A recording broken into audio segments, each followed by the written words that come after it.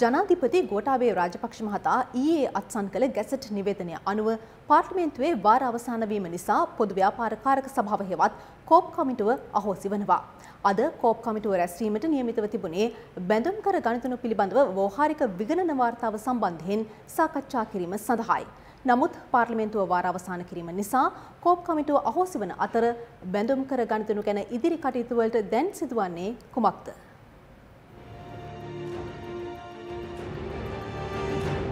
මහ බැංකුවට අපි නිර්දේශ කරපු වෝහාරික විගණනය. කියන්නේ සවිස්තරාත්මක විගණනයේ වාර්තාවල් අපිට ලැබිලා තිබුණා. කාර්ක සභා ලේකම් කාර්යාලයට. ඒ වාර්තා පිළිබඳව සාකච්ඡා කරලා. ඒ වාර්තාවල් පාර්ලිමේන්තුවට ඉදිරිපත් කරනවද නැද්ද? මොකද කරන්න කියලා. ඒකේ කරුණු පිළිබඳව සාකච්ඡා කරන වැදගත් සාකච්ඡාවක් තමයි අද යොදාගෙන තිබුණේ.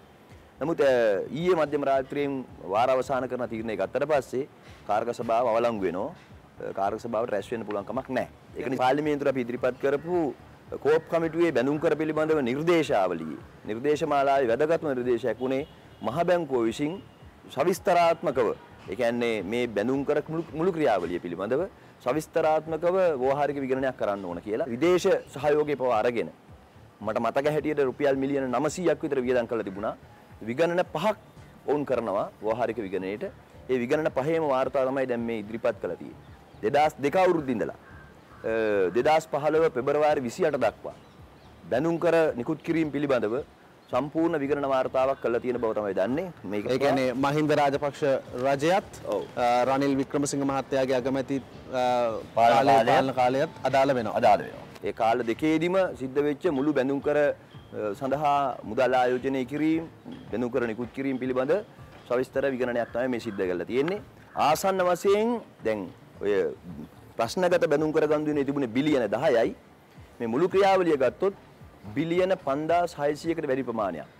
කෝටි 568000ක් ආසන්න වශයෙන් ගත්තොත් අපේ රටේ මුළු සමස්ත ණයබරෙන් භාගයක් විතර අර්ථසාධක අරමුදලත් එක්ක රජයේ බැඳුම් කර ගන්දුණු කොල්ල තියෙනවා.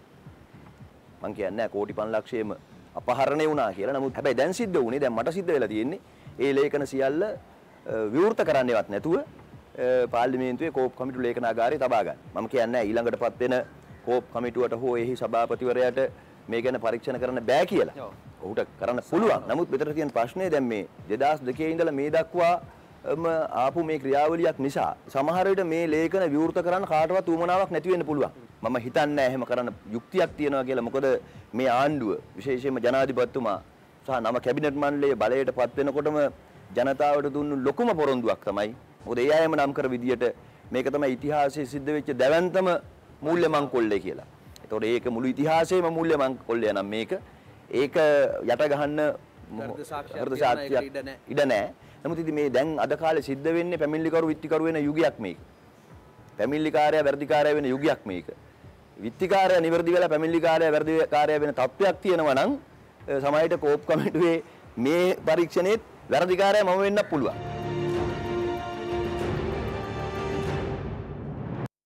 පාර්ලිමේන්තුව වාර අවසන් කිරීමත් සමග කෝප් කමිටුවට අමතරව රාජ්‍ය ගෙනුම් රාජ්‍ය මුදල් පාර්ලිමේන්තු කටයුතු සාවර නියෝග ආචාර ධර්ම හා වරප්‍රසාද ව්‍යවස්ථාදායක කාරක සභාව අමාත්‍යංශ උපදේශක කාරක සභාව ඇතුළු කාරක සභා ගණනාවක් අහෝසි වනවා. පාර්ලිමේන්තුවේ සංනිවේදන අංශය අද පස්වරුවේ නිවේදනය කළේ කතානායකවරයා සභාපතිත්වයේ දරන ජාතික හා ආගමික සහජීවනය පිළිබඳ නිර්දේශ ඉදිරිපත් කිරීමට පත් කළ කමිටුව නියෝජ්‍ය කතානායකවරයාගේ සභාපතිත්වයෙන් යුත් ජාතික ඇගයීම් ධාරිතාව පිළිබඳ අධ්‍යයනය කරන විශේෂකාරක සභාව තවදුරටත් ක්‍රියාත්මක බවයි. මීට අමතරව ආංශික අධීක්ෂණ කාරක සභා 16ක්ද තවදුරටත් ක්‍රියාත්මක වනවා. අටවැනි පාර්ලිමේන්තුවේ තුන්වන සභාවාරය ජනාධිපතිවරයා ඊයේ වාර අවසන් කළ අතර ලබන වසරේ ජනවාරි 3 වෙනිදා පෙරවරු 10ට මීළඟ සභාවාරය ආරම්භ වීමට නියමිතයි. එම සභාවාරය ජනාධිපතිවරයා විසින් උත්සවාකාරයෙන් විවෘත කරන අතර එහිදී රජයේ ප්‍රතිපත්ති ප්‍රකාශය ඉදිරිපත් කිරීමට ජනාධිපතිවරයාට බලය ලැබී තිබෙනවා. වාර අවසන් කළද කතානායකවරයා අකණ්ඩව ධූරයේ කටයුතු කරන අතර නව වාරයේ සිට ක්‍රියාත්මක කිරීමට ඇති රාජකාරී ඉදිරියට ගෙන යාමට හැකි බව පාර්ලිමේන්තුවේ සංනිවේදන අංශය නිකුත් කළ නිවේදනයේ සඳහන්.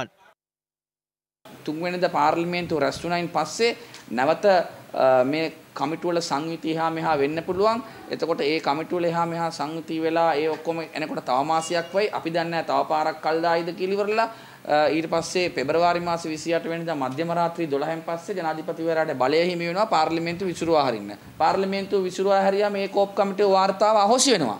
එතකොට මහ බැංකු බැඳුම් කරය සම්බන්ධව වැරදිකරුවන් හොයන්න ඒ කරපු වැරද්දේ ස්වභාවය මොකක්ද කියලා රටට එළියට කියන්න තිබිච්ච අවස්ථාව නැති වෙනවා පමණක් නෙමෙයි ඒ පිළිබඳව දඬුවම් දිය යුතු අය දඬුවම් නොලබා බේරා ගැනීමේ කුමන්ත්‍රණයක්ද කියලා අපිට සැකයක් තියෙනවා. නියම හොරු පිළිබඳව මේ වෝහාරික විගණන වාර්තාවේ තියෙනවා. මේ වාර්තාව වෝහාරික වාර්තාව යටපත් කරේ කවුද? ඒ ජනාධිපතිවරණයට කලින් ඉදිරිපත් නොකළේයි. දැන් අද දින ඉදිරිපත් කිරීම වළක්වීමට කටයුතු කළේ ඇයි කියන කාරණය ගැන අපි ඉදිරියේදී සාකච්ඡා කරන්න සිද්ධ වෙනවා.